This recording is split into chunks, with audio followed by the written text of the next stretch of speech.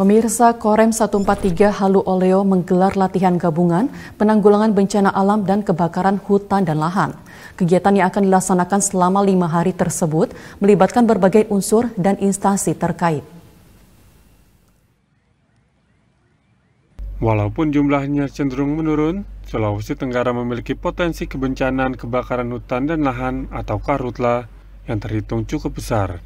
Dengan peningkatan titik panas, yang umumnya terjadi di bulan September hingga Desember setiap tahunnya. Untuk itu, pada 22 November, Korim 143 Halu Oleo menggelar latihan gabungan penanggulangan karhutla di Makorem ulang di Makorem 143 Kendari.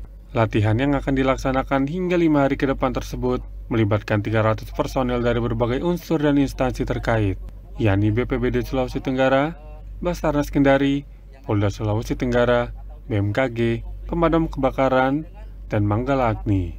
Dengan kegiatan tersebut, seperti dikatakan Kepala Saksi Operasi Korim 143 Halu Oleo, Kolonel Infanteri Dwi Krisyanto, diharapkan seluruh peserta memiliki kemampuan dan keahlian dalam menanggulangan serta penyelamatan korban bencana. Seluruh unsur dan instansi terkait pun diharapkan dapat lebih meningkatkan koordinasi serta sinergi, sehingga terwujud kerjasama yang baik dalam hal penanggulangan bencana maupun karhutla di Sulawesi Tenggara untuk kebencanaan di wilayah Sulawesi Tenggara yang sering atau yang pernah terjadi di wilayah Sulawesi Tenggara salah satunya banjir kemudian karhutla juga. Terakhir kita juga pernah merasakan gempa.